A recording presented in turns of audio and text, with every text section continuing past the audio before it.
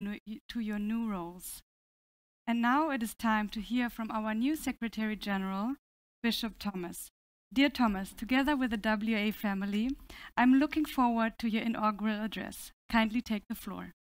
Thank you very much. The World Evangelical Alliance is a very diverse movement. When in 1846 Anglican priests and the Salvation Army started to work together, people thought that would not be possible.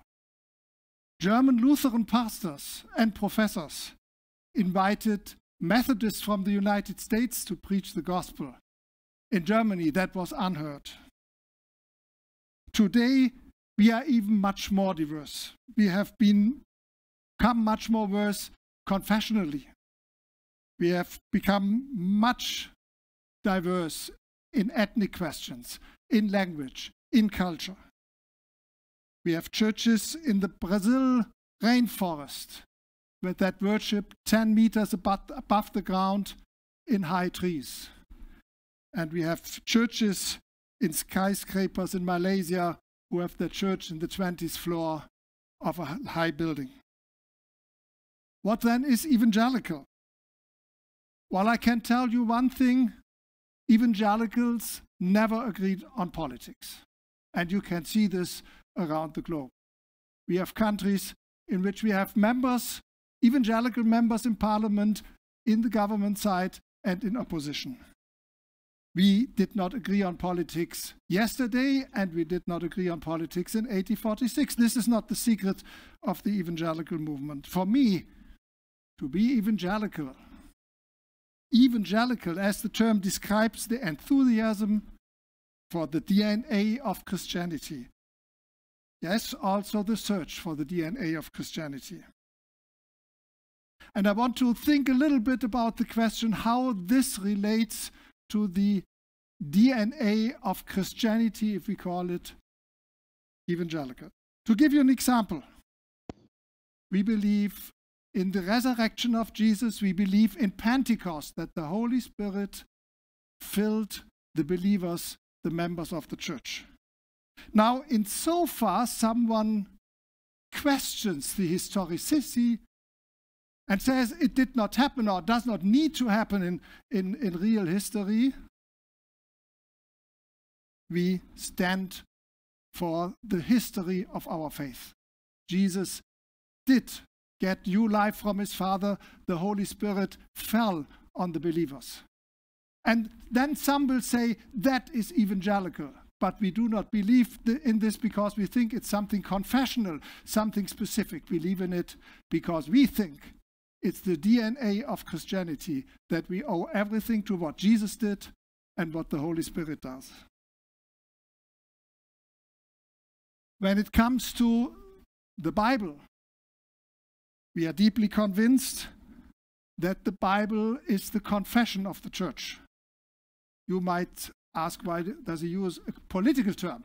Well, if you look into history, the idea of a paper document that would rule the people comes from the Old Testament. The Torah in the Old Testament was above David, was above the king, was above everybody.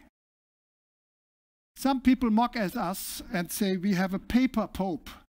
We are proud to have a paper pope because the paper pope assures that none of us, including me, are above the Word of God.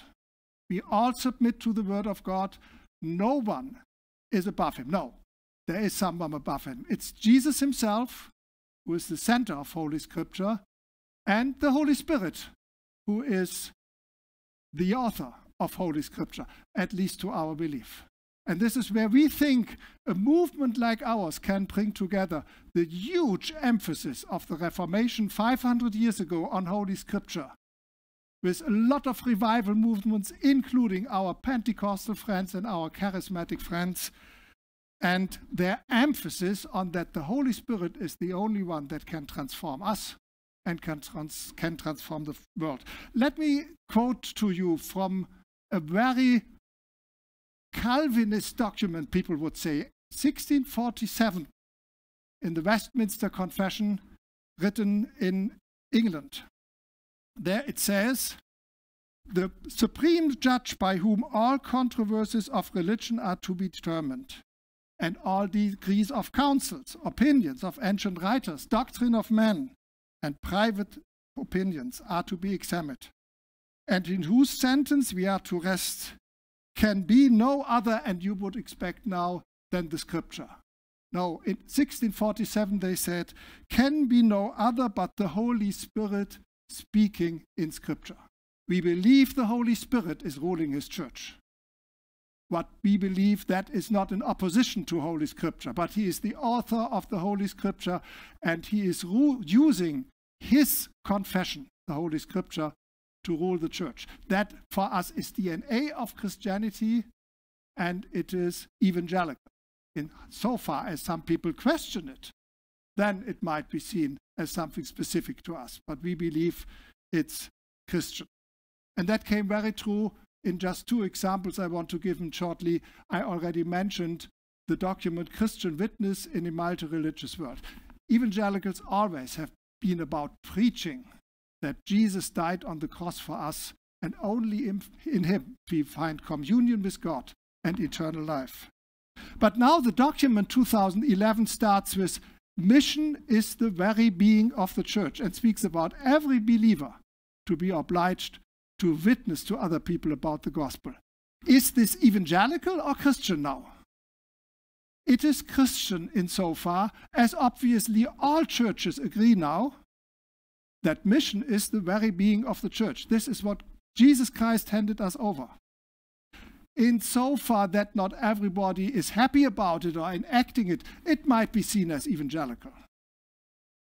But we have to be very careful to say that automatically we do what it is said. Mission is not always the being of our local churches. We often have to be reminded as evangelical churches that we have to put the witness of the gospel into the center.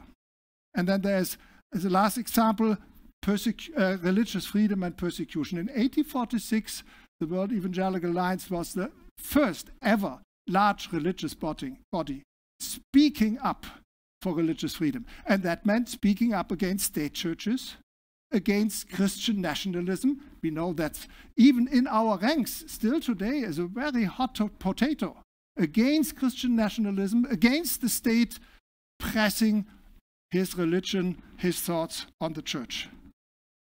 After a long history, meanwhile, the Catholic Church in the Second Vatican Council said exactly the same that religious freedom is not only just a political principle, but it's the DNA of Christianity. Is this evangelical? Well, we have stood for it for a long, long time. But we did not stand for it as a confessional extra, but as the belief that this is Christianity pure. God Himself wants to be loved, wants us to trust Him. He wants our life. He does not want us to pray to him because we are forced or because somebody paid us or somebody cheated us. He wants our very trust and very heart and his very love, and love is something you cannot force on.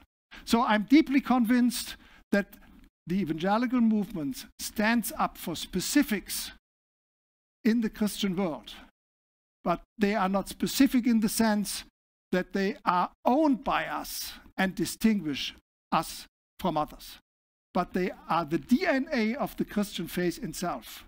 And when we strive for unity within evangelicalism, if we want to bring the Anglicans, the Pentecostals, the Reformed, the Salvation Army, all those groups in our midst together, we only can do it around this DNA of Christianity. And we are open to any other church outside our movement to join us in those points of the DNA. And so we hope, wherever possible, to prolong our vision to many other churches in this world. Thank you very much. I'm privileged to serve the World Evangelical Alliance. I know we all are sinners. We are under the one Holy Scripture which defines when we fail in what we do. And so I'm deeply convinced that it's only the prayer of millions and the prayer of close friends who might know some things which others do not know about me that makes it possible to take over a task which is too big just for one human being. Amen.